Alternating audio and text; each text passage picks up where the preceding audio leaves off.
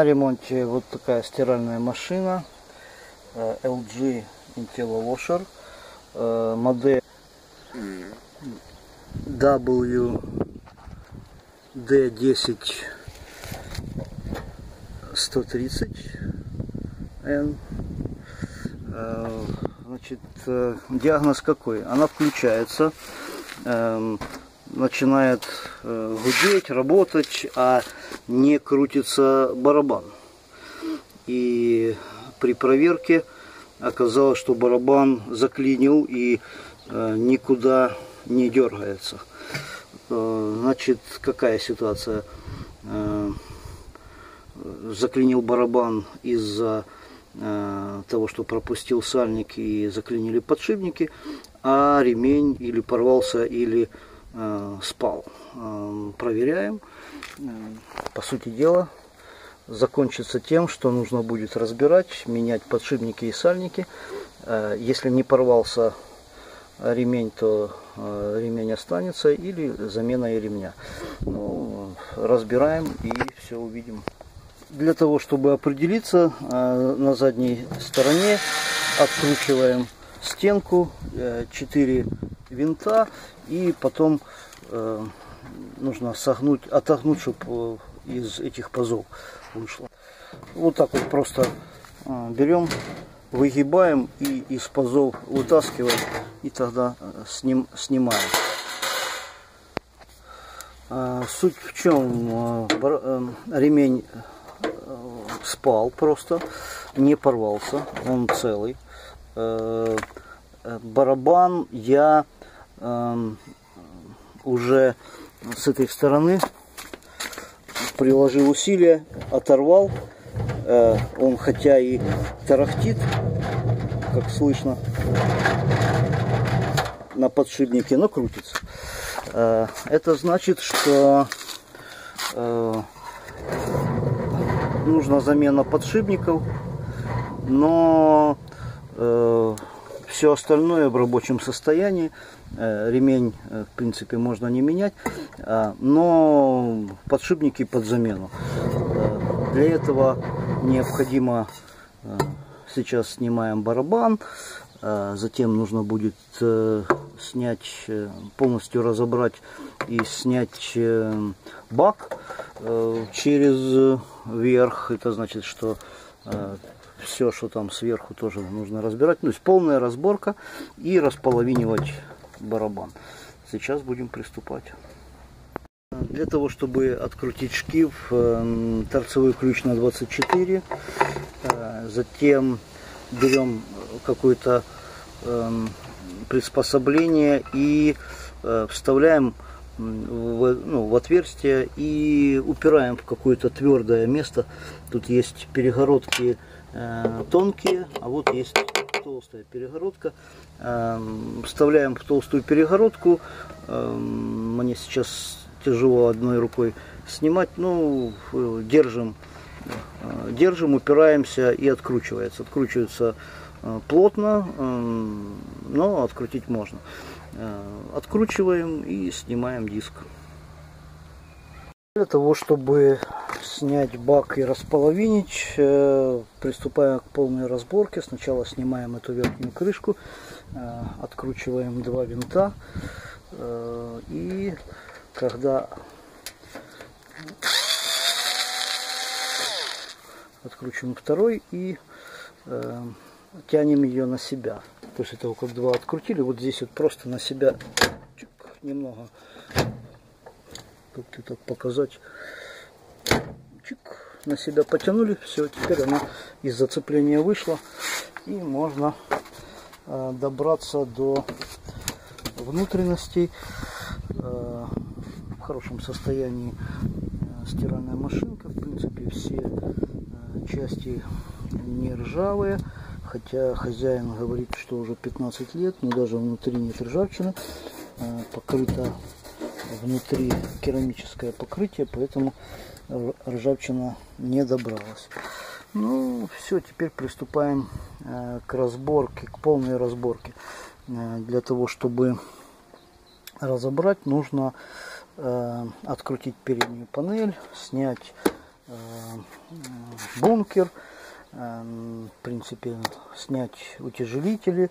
Вот эту тоже часть нужно открутить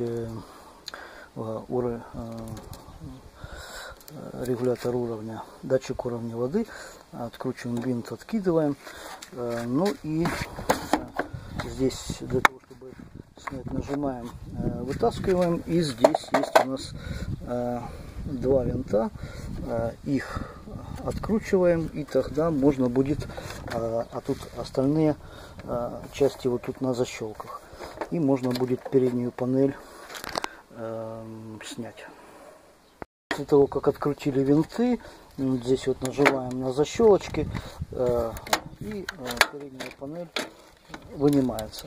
Для того, чтобы переднюю панель снять, нужно отсоединить все э, разъемы. В принципе, вы можете не бояться, э, что они попутаются, потому что они, во-первых, стоят э, последовательно, но можете Э, в принципе, обратить внимание, что, допустим, э, белый к белому разъему, розовый к розовому, ну, опять белый к белому, э, а тут голубой к голубому вы не попутаете, даже если захотите. Поэтому смело можете снимать и потом сможете запросто установить на место. Как будем снимать бункер? Он, в принципе, уже снимается, его просто туда нужно толкнуть и он выдвигается, но он держится на э, трубочках, э, трубки и шланги.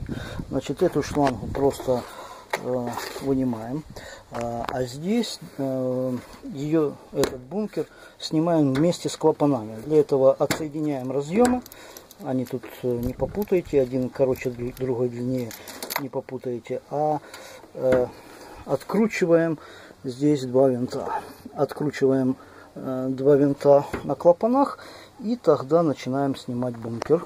Все, открутил я два винта, вот так вот снимается. Э, значит, э, просто толкаем туда.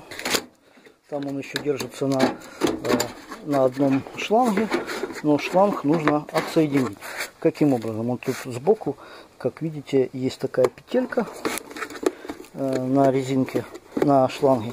Петельку снимаем и шланг э, должен отсоединиться. Поможем, если сильно так уж не хочет отсоединяться. Нужно ему помочь, просто столкнуть туда. Э, вращаем, немножко вращаем. Так, чтобы было видно. Не знаю. Раз, и сняли. Все, теперь бункер уже освободился. Э, бункер ложим отдельно. Э, и у нас появился доступ э, к барабану.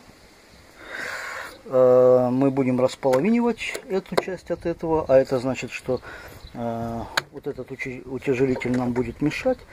Откручиваем торцевым ключом и в сторонку снимаем. Теперь приступаем к снятию вот этой лицевой панели. Эм, хочу обратить внимание, что не на всех стиральных машинках можно эту всю лицевую панель снять. В некоторых машинках она насмерть э, приварена. Вот здесь вот э, приварена. Это же снимается, это облегчает. Не нужно вытаскивать барабан через верх. Если бы она была приварена здесь, то тогда барабан через верх вытаскивается. Тут этого делать не нужно. Что мы делаем? Мы Э, сначала от, снимаем вот эту пластиковую панель, потом э, отсоединим э, вот этот хобот, э, ну, резинку защитную э, круглую, и э, тогда можем лицевую панель снять. Э, ну и отсоединим еще замок как отсоединяется э, вот эта пластиковая защита. Откручиваем здесь винт. Э, и тут такие клипсы. Э, нужно вот туда просто на, на пластик придавливать. Сверху и снизу. Значит, придавливаете. Ну и там, как видите, вот крючок просто. Вот такой крючок. Когда придавливаете, и, и в принципе то же самое нужно сделать и снизу. Опа, э, и она подалась. То же самое находится здесь. Э, но тяжело подается, Поэтому буду двумя руками, ну, точно так же. И тогда панель можно будет снять. Тоже отсадил я и с этой стороны, но тут без вариантов нужно было просто сильнее тянуть. Как видим, здесь две в одну сторону не помогает. Просто нужно было сильнее тянуть, и она отсоединяется. Ну, собственно, и все. Э, для какой цели мы это сделали? Здесь вот эта верхняя панель э, держится одним винтом. Потом вот здесь еще винт. И вот здесь винт. И потом еще два сверху. Откручиваем. И затем э, начинаем снимать уплотнительную круглую резинку люка. Снять э, вот эту уплотнительную резинку. Ну тут совсем все просто. Э, внизу или бывает так сбоку есть вот такая пружинка. Э, Ее нужно берем пружинку. Она натягивает скобу, проволоку. И вытаскиваем это кольцо. Все. После того, как кольцо снято, резинка просто снимается и все. Заходит в паз, снимается и все. Вот мы и сняли переднюю панель. Э, немножко она так вверх поддевается и снимается. Э, все, передняя панель снята. И у нас есть доступ к, э, к барабану. Суть э, в чем? Нам нужно э, располовинить, открутить вот эти все винты. Э, для этого нужно положить его на спину, ну вот на, на эту поверхность. Почему? Потому что пружинки держат эту часть, а нам нужно, ну, собственно, весь этот барабан вытащить, вытащить сюда. Э, как вы это будете делать уже без разницы, но в любом случае нужно э, снять пружины, отсоединить вот эти амортизаторы. Они, собственно, держатся на, ну, на вот таких вставленных фиксаторах. Сейчас покажу, как вот здесь вот такой фиксатор. Когда вытаскиваете бабушечка упирается. Ее немножко нажимаешь, и она вот, э, от, сюда вытаскивается. И все. Э, ее можно или снизу снять полностью, или сверху. Тут уже э, ваше дело. А, ну, собственно, нужно будет снять э, вот этот резиновый шланг, резиновую трубу. Э, э, нужно открутить, э, расслабить этот хомут. Э, хомут снимается и шланг снимается.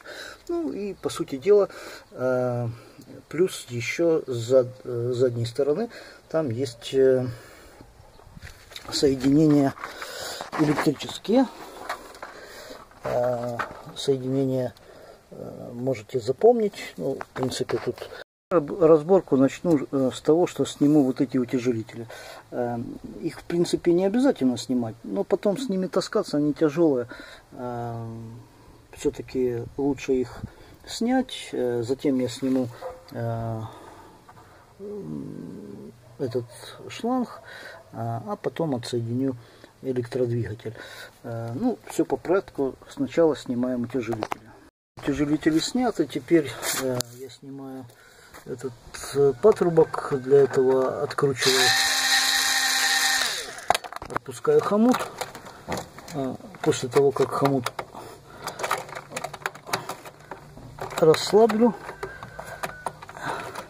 немножко надо не то чтобы сильнее но отпустить его.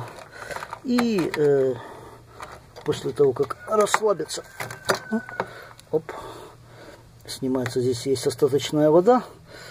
Э, сейчас подставлю, э, брошу тряпку или подставлю какую-то емкость. Э, часть воды осталась.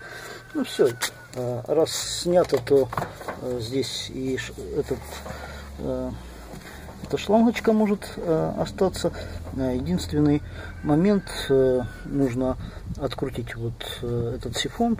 Здесь нужно открутить винт э, или э, ослабить этот хомут. Ну, тогда можно отломать. Желательно винт тут открутить и тогда этот сифон тоже снимется.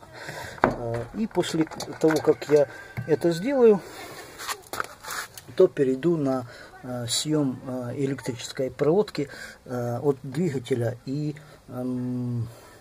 тена нагревательного. Ну а сейчас солью воду. Так, ну а для сня снятия отсоединяем вот эти фиксаторы все э, и просто снимаем э, фишку здесь с разъема э, с электродвигателя и э, снимаем здесь э, с разъема стена. Ну, собственно, и все. А тут э, э, в данный э, момент здесь есть фишка или просто бывает на разъеме. Но тут фишка. И тут тоже снимаем с разъема и все. Бак нас свободен, можем его вынимать. Можем вынимать вот эти вот э, штуки. Я вот подстукал э, до тех пор, пока оно уперлось. И все, теперь, когда уже уперлось, как я и говорил, подстукиваем. Э, когда упирается тут в такой э, бабушечка плоскогубцами, э, придавили, она так класс, туда заходит. И дальше, дальше выбиваем. Ну все, после того, как выбили, она уже здесь свободно выходит, можно вручную вытащить. Все, теперь амортизатор можно уже убрать.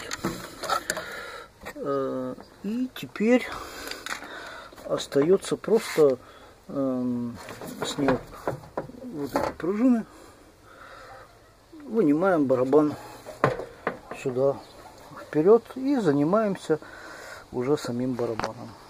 Э, бак я вытащил, э, но будет мешать электродвигатель. Откручиваем два болта и он просто туда так вынимается и все. И тогда уже приступаем к раскручиванию, располовиниванию бака. Ну, теперь мы пришли до самой части раскрытия э, бака. Просто э, один за другим откручиваем э, эти винты шаг за шагом. Откручиваем все по кругу и затем увидим, что получится. Теперь сам суть, сама суть процесса. Э, находим, где можно подцепить. Опа. И все. Бак располовинился. Снимаем верхнюю часть. И теперь у нас э, задача снять барабан. Для этого нужно его выбить из подшипников. Э, освобождаем вал. И, э, по сути дела, наверное,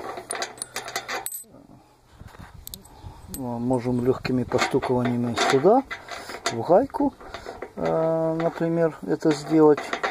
Можем закрутить ее в обратной, э, с обратной стороны. Э, или ну, так или иначе придется стукать, и чтобы не забить, э, через что-то стукать э, по валу. Но для того, чтобы в руках его не держать, мы все-таки э, положим его на барабан, э, на вторую часть бака. На, назад ее закрепим. И стукнем твердым предметом, э, например, алюминиевым молотком, выбьем туда. Вот он стоит на э, второй части. И теперь легкими постукиваниями он не плотно сидит. В принципе, он уже выбился. Я так подозреваю. Поднимаем.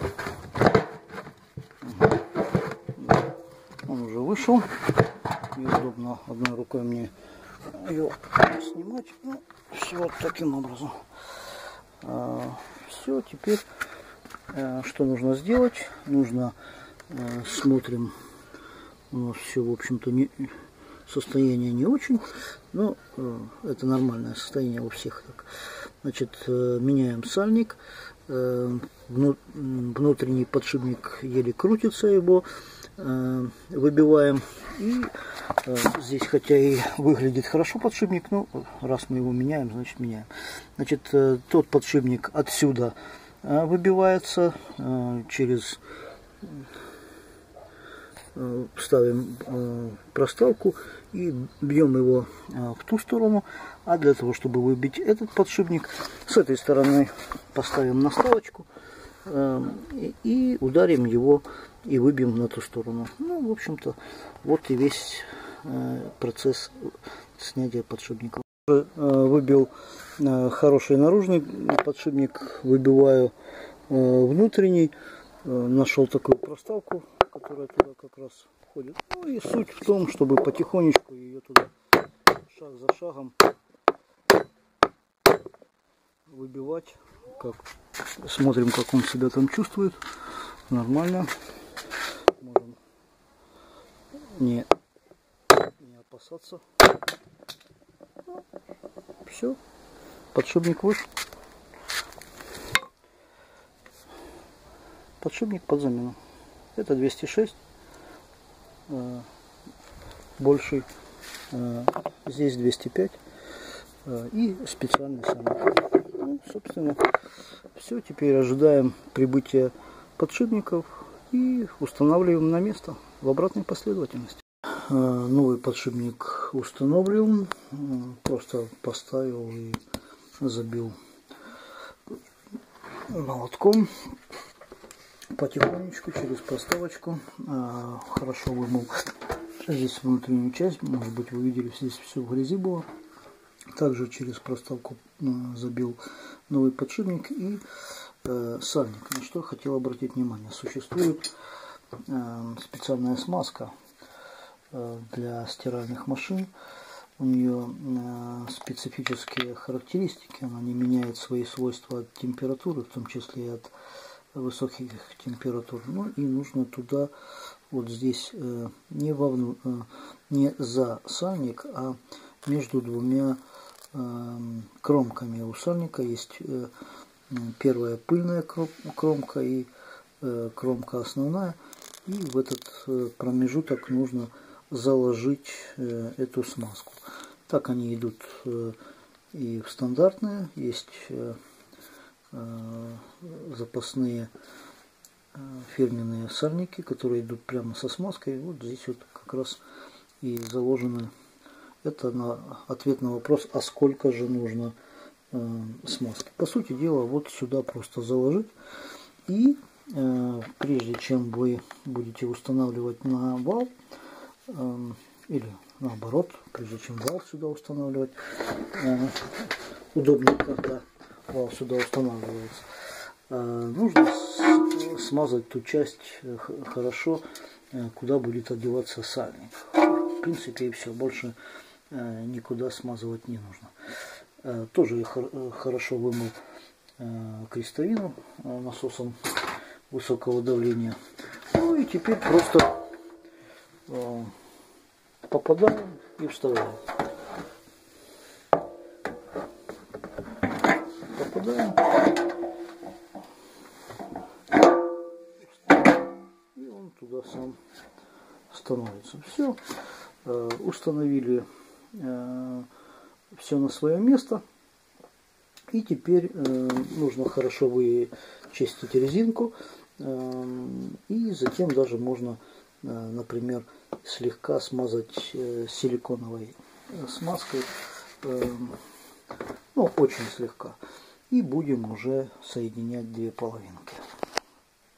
Итак, э, все готово к тому, чтобы соединять две части. Я немножко смазал резинку силиконовым маслом. Ну и для того, чтобы вал не выпадал, нужно сейчас закрутить э, гайку, э, поставить э, шкив и закрутить гайкой. И он тогда не будет выпадать, потому что держатся не очень плотно. Ставим, ставим шкив и закручиваем гайку. Ну и начинаем его совмещаем и всеми теми винтами, которые и стояли, закручиваем уже теперь э, барабан, э, бак, бак совмещаем. Я совместил две части и теперь э, последовательно закручиваем все винты. Единственный момент, учтите, что нельзя закручивать, э, затягивать сразу э, винты, чтобы не перекосить. Сначала наживляем, потом немножко подтягиваем и по кругу потихонечку подтягиваем, подтягиваем для того, чтобы не перекосить затяжку и не было пропускания воды.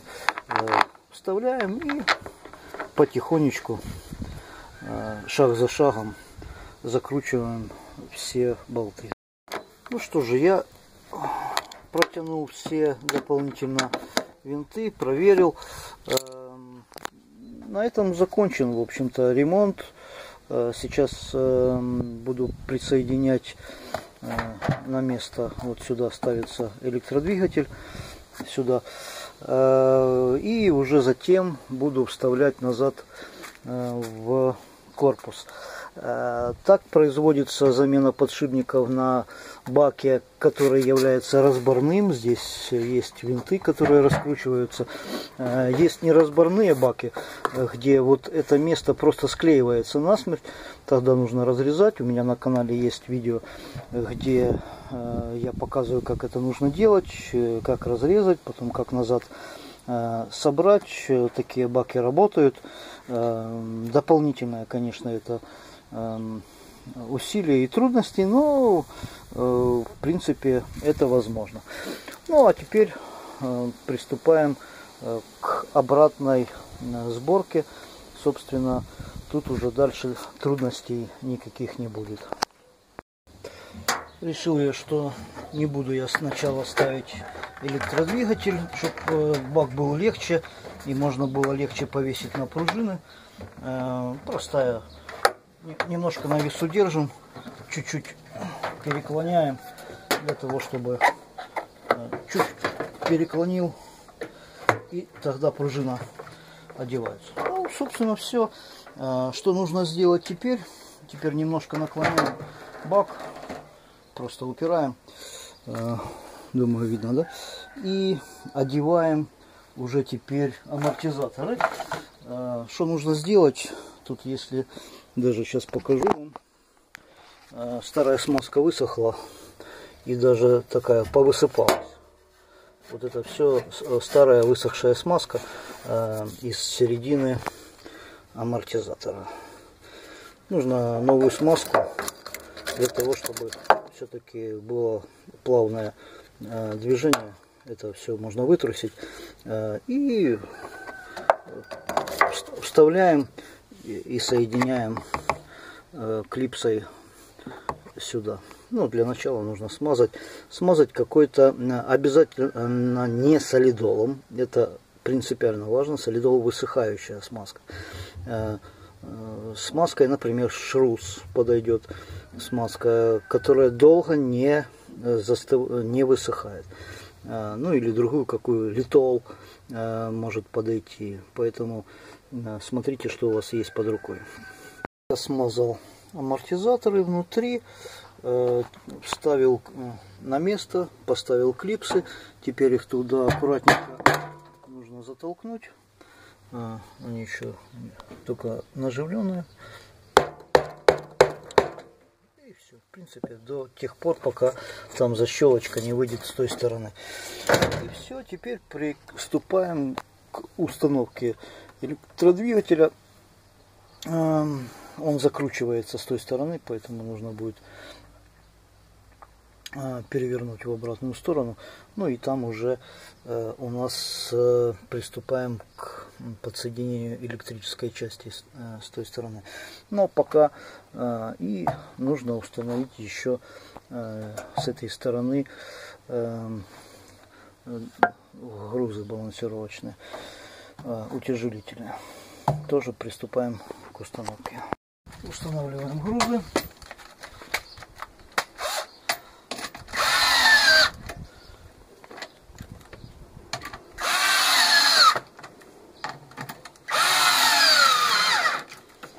Ну и также следующий. Я поставил на место электродвигатель, правда закручивается он с той стороны. А теперь, раз уже здесь, э, то нужно установить патрубок э, на место и э, потом патрубок и вот этот расширитель, он тут устанавливается как раз ну, тут после того, как патрубок. И этот расширитель тоже нужно прикрутить. И затем переходим на обратную. Не забудь подсоединить вот эту трубочку к расширителю зацепить ее, эту трубочку тут за клипсу э, на баке, вот клипса, чтобы она э, нормально стояла. Ну и все, с этой стороны все. Переходим на ту сторону. На той стороне подсоединяем. Сейчас нужно будет поставить сюда утяжелитель. И на той стороне подсоединяем электрическую часть. А на этой стороне у нас э, крепление электродвигателя. Э, здесь э, два болта крепления.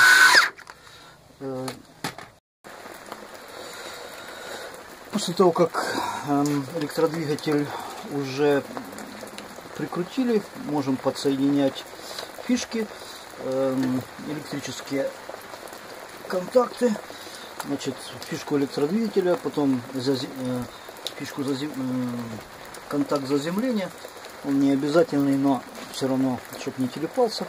Здесь заземление прикручивается винтом в данной стиральной машинке на э, тене. Ну и здесь просто подцепляем и все. Э, подсоединяем разъем э, датчика температуры. И теперь не забываем, что и в этом месте, и вот здесь вот в этом э, было присоединено стяжка. Эм, что теперь нужно еще сделать? Э, ремень одеть. Как одевается ремень? Э, он одевается очень плотно. Сейчас покажу. Сейчас. Эм, значит, сначала одевается на малый вал, а затем сколько можно на большой ну и э, сильно держим и проворачиваем. Все, эта часть готова. Теперь переходим к электрической части э, на панели управления. Начинаем с того, что закручиваем э, груз, э, утяжелитель. Ну и затем переходим к бункеру. Э, бункер устанавливается вместе э, с резинками. Помним, что здесь есть такая резиночка, которую нужно сначала вставить, а потом тут завести э, и защелкнуть. Э, потом устанавливаем на свои посадочные места, э, соединяем эту трубку и прикручиваем с той стороны двумя винтами эм, клапаны и подсоединяем. Ну и по сути дела все. Теперь переходим к э, соединению разъемов, э, а, э, уст, к установке передней панели всей.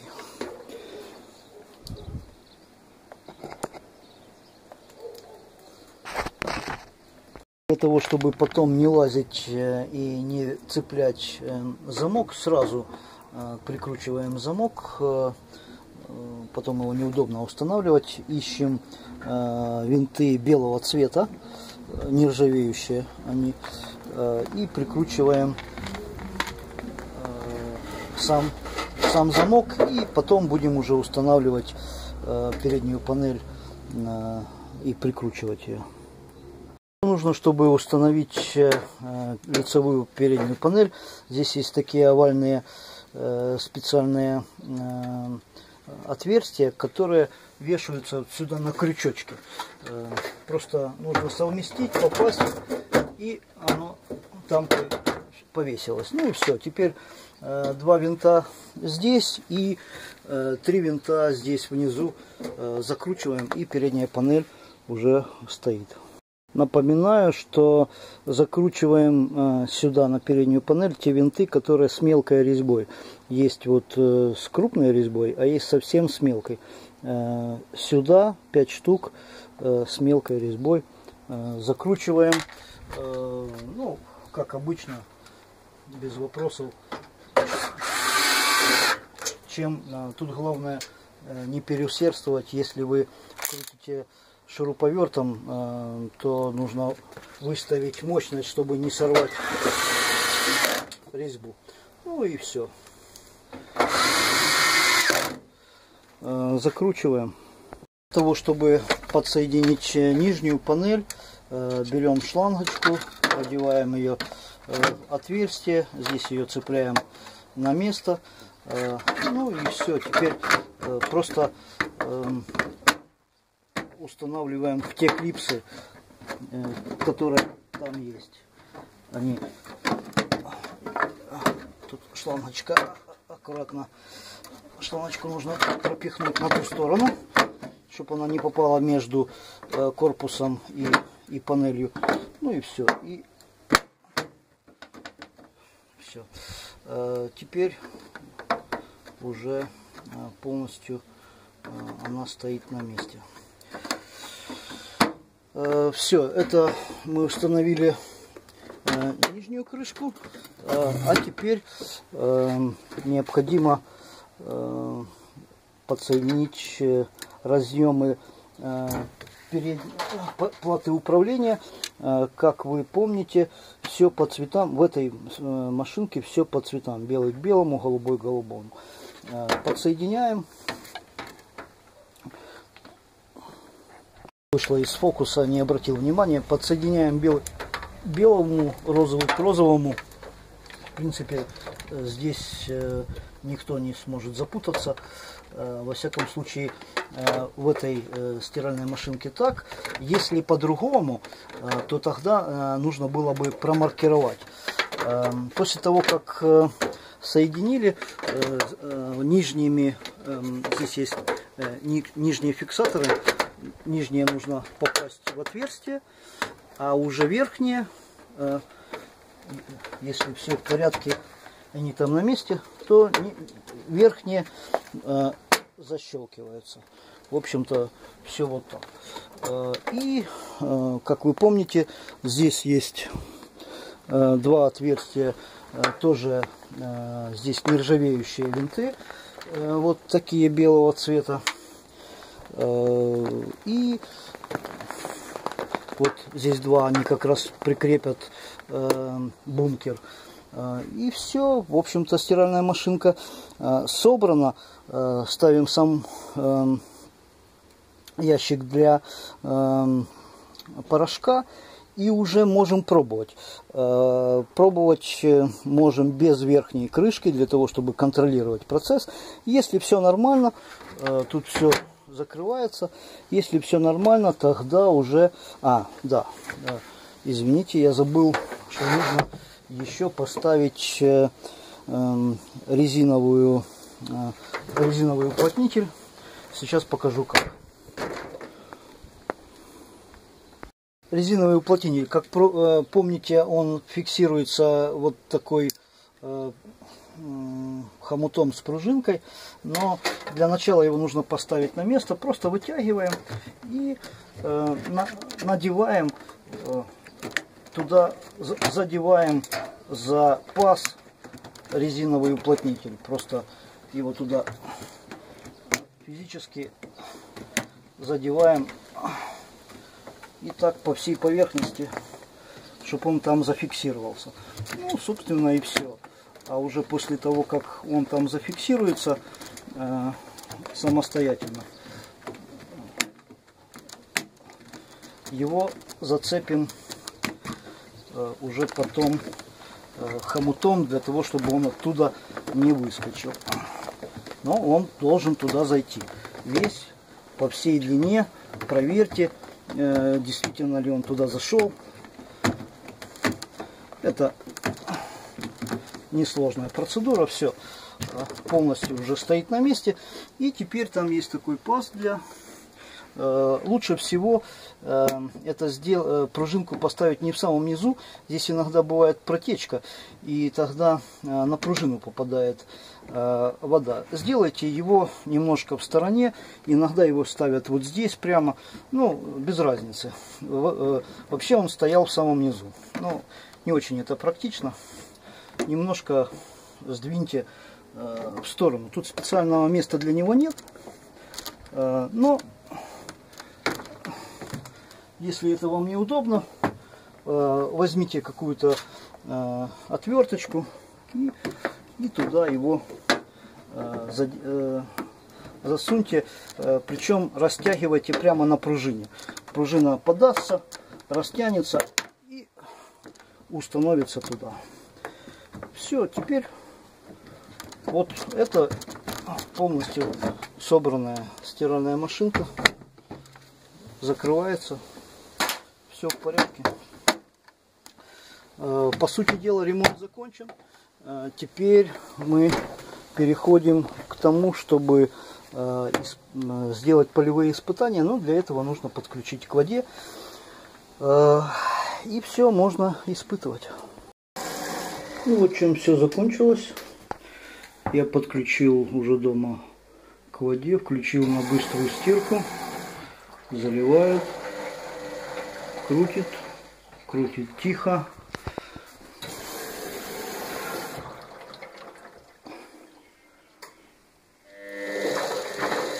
Движение хорошее.